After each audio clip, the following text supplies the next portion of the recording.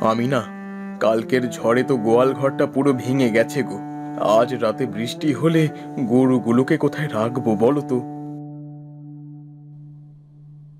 আজ মনে হচ্ছে আসমান পরিষ্কার থাকবে। মেঘ তো দেখা যাচ্ছে না গো। দেখি কাল যদি সকাল থেকে রোদ থাকে তাহলে একটা ছাউনি করে দেব। হ্যাঁ সকালে দেখা যাক, আকাশ কেমন থাকে।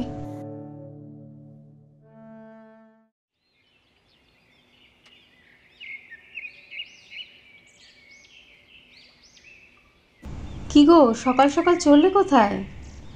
কাল বললাম না, আজ বৃষ্টি না হলে গরুগুলোর ছাউনি করে দেব। এখনই কাজ শুরু না করলে হবে, এবার আর উঠোনে না। ওই পুকুরের পাশটায় ছাউনি করে দেবো, বুঝলে? ছেলে মেয়ে দুটো উঠোনটায় ঠিক করে খেলতে পারবে। আচ্ছা যা ভালো বোঝো।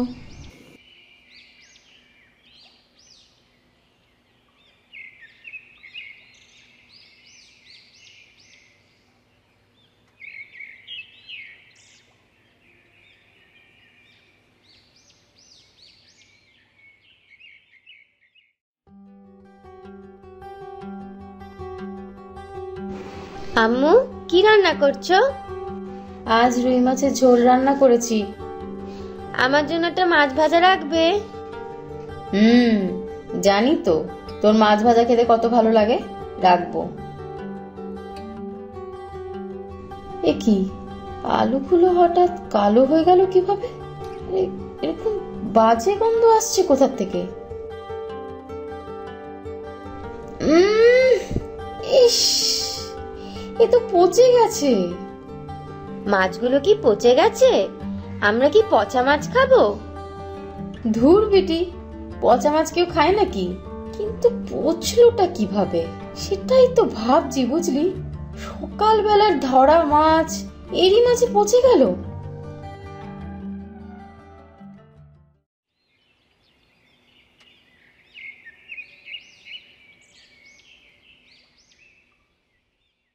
সকালে অতগুলো মাছ আনলাম যে সব কি গিলে ফেলেছিস? না না মাছটা পচে গেছিল তাই ফেলে দিয়েছি। ধুর খাবই না আজ। শোনো কি গো? দুটো খেয়ে নাও এভাবে ভর দুপুরে না খেয়ে থাকতে হয় না। আচ্ছা মাছ খারাপ হলে আমি কি করি বলো তো? আল্লাহ মানুষটার হলো কি? এইরকম ব্যবহার তো সে করে না।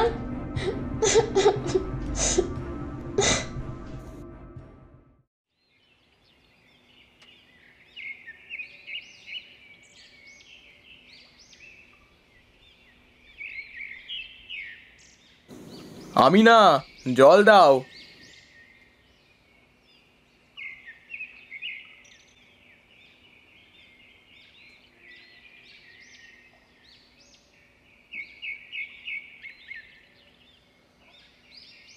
তুমি বসো আমি তোমার খাবার নিয়ে আসছি। আব্বু আব্বু। কি হচ্ছে কি? সরে যাও। বলেছি না এভাবে গলা জড়িয়ে ধরবে না।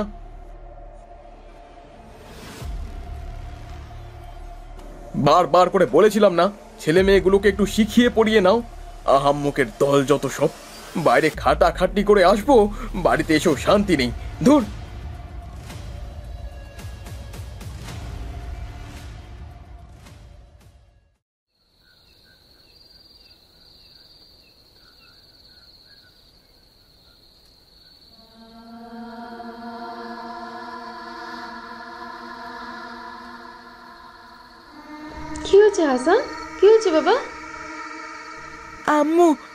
আমার গলা টিপে ধরেছিল। আমার খুব ভয় করছে, আম্মু। এটা তুই কি বলছিস? তুই ঠিক দেখেছিস?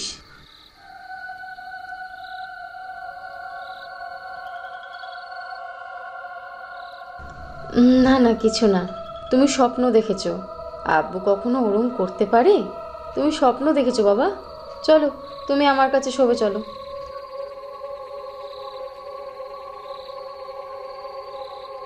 হালা এসব কি হচ্ছে? মানুষটা তো ঘরেও নেই। কোথায় গেল সে?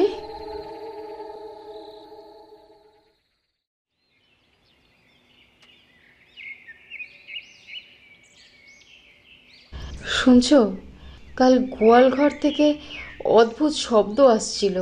আমি খুব ভয় পেয়ে গেছিলাম কিসের শব্দ?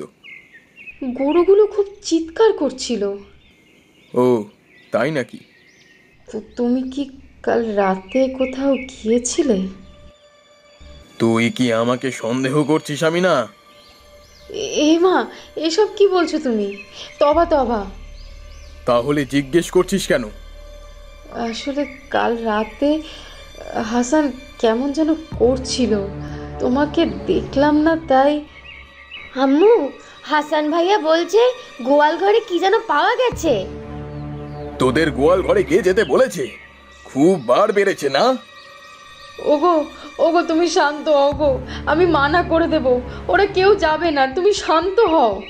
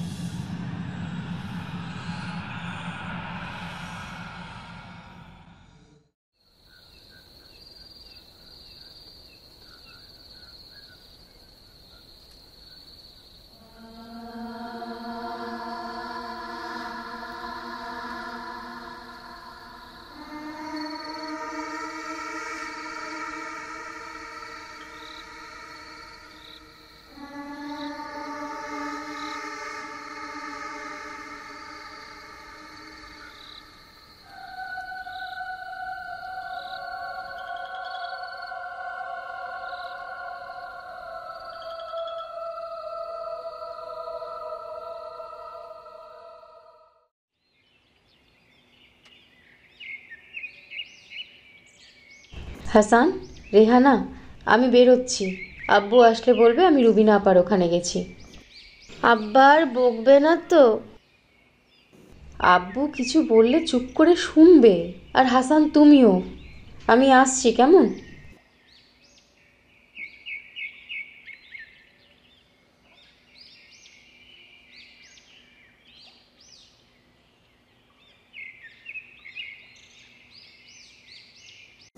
আপা, আপনি যা বলছেন তাতে তো মনে হচ্ছে আলী ভাইয়ার উপর জিনের প্রভাব পড়েছে। কিন্তু হঠাৎ করে এটা কীভাবে হলো? আমি জানি না রহমত ভাই, ওর কি হয়েছে।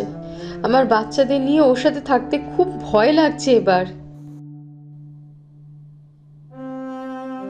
তার সাথে তো কাল দেখা করব। কিন্তু আজ রাতটা কি করব বলো তো? আমার ওই বাড়িটাতে ওই মানুষটার সাথে থাকতেই খুব ভয় লাগছে। হাসান তো ওর আব্বুকে দেখলেই ভয় পাচ্ছে। আজকে রাতটা কাটাবো কি করে? চিন্তা করবেন না আপু। আজ রাতটা না হয় আমি আপনাদের সাথেই থেকে যাব। বলে দেবো মর্জিনা আমার নানির বাড়ি গেছে। আপনার অনেক মেহেরবান। ঠিক আছে আজ আমি আসি। ওদিকে উনি আবার বাড়ি পৌঁছে গেলে তো কেলেঙ্কারি হবে। আপনি যান আপু আমি বিকেলে যাব। আর আপনি কিন্তু ভুলেও আলী ভাইকে কিছু বুঝতে দিবেন না। হ্যাঁ এখন আসছি।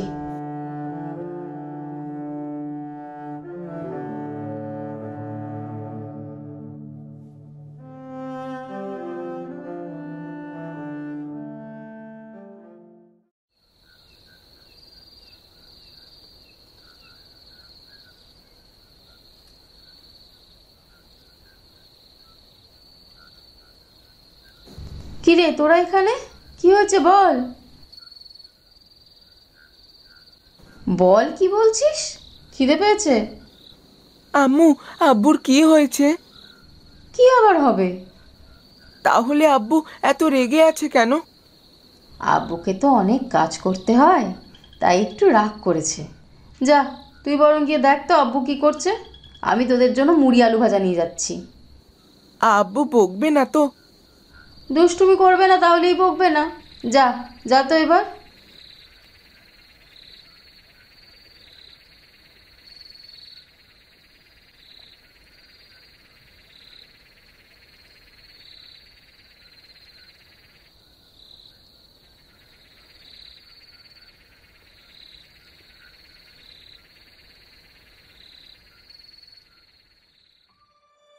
আল্লাহ তোমার কি মাথা খারাপ হয়ে গেছে?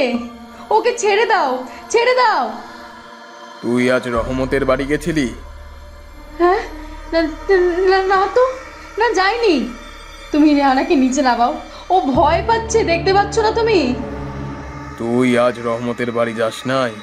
সত্যি বল আমি না হ্যাঁ গেছিলাম।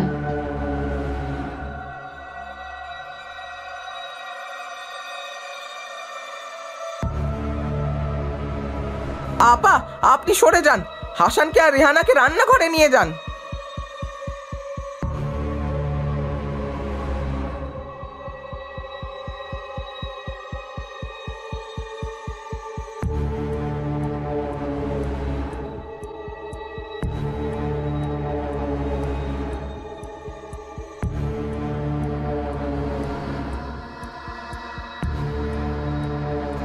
রহমত ভাই আপনি কীভাবে জানলেন? আমি সন্দেহ করেছিলাম কিছু একটা হবে। তাই মাজারের এই পানিটি নিয়ে এসেছি। আপা আপনি রান্নাঘরে ঢুকে দরজা লাগিয়ে দেন। আমি মৌলবী সাহেবকে নিয়ে আসছি। কাল অবধি সময় হবে না। অমদ ভাই মানুষটা কি আর বাঁচবে না? আল্লাহ মেহেরবান আপা। নিশ্চয়ই সব ঠিক হয়ে যাবে। আপনি এই পানিটা রাখুন। কিছু বুঝলে এই গায়ে ছিটিয়ে দেবেন। আমি আসছি।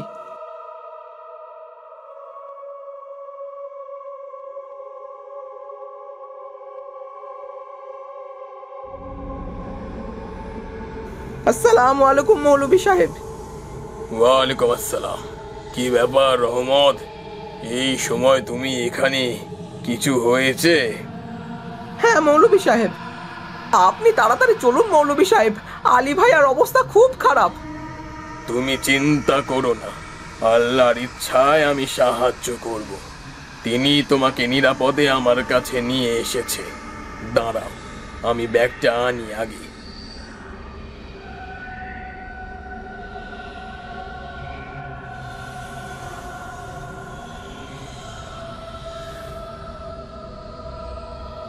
চলো।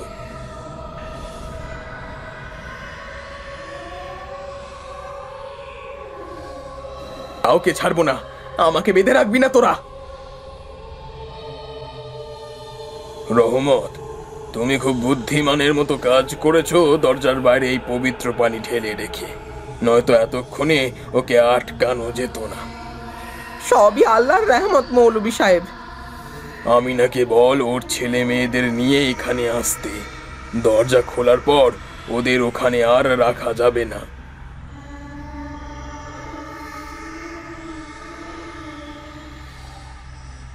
আপা, দরজা খোলেন। আমি রহমত। মৌলবী সাহেব এসেছেন।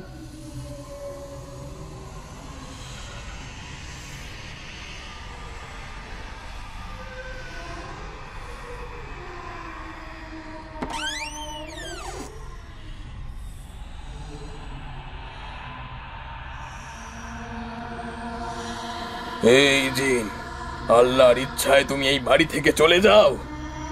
আমি তোদের কথা শুনব না। তুমি ওদের কোনো ক্ষতি করতে পারবে না। ওদের উপর আল্লাহর পাক দৃষ্টি আছে। আলীকে ছেড়ে দাও, নয়তো তুমি দুযোগে যাবে। ওরা আমার পরিবারের জায়গায় কেন এসেছে? তোমাদের পরিবারের জায়গা মানে? ওই গোয়াল ঘরটা ওখানে আমি থাকতাম। আমার ছেলে ছিল। ওখানে আলী নিজের গোয়াল ঘর বানিয়ে আমাদের বিরক্ত করেছে। বেশ ওরা ওখানে আর যাবে না। গোয়াল ঘর ভেঙে দেবে। গরুগুলোকে তো তুমি আগেই মেরে ফেলেছো। তুমি ওখানে থাকতে পারো কিন্তু আল্লাহর নামে শপথ করতে হবে। এ বাড়িতে বা এই গ্রামের কারোর বাড়িতে তুমি যাবে না। কাউকে বিরক্ত করবে না। আমি ওদের ছাড়বো না। তুমি যদি না যাও তবে আমি আল্লাহর নাম নিয়ে এই বোতলে তোমাকে বন্দি করব। না না ঠিক আছে আমি শপথ করছি। এই মুহূর্তে তুমি বেরিয়ে যাও এখান থেকে। ছেড়ে দাও ওদের।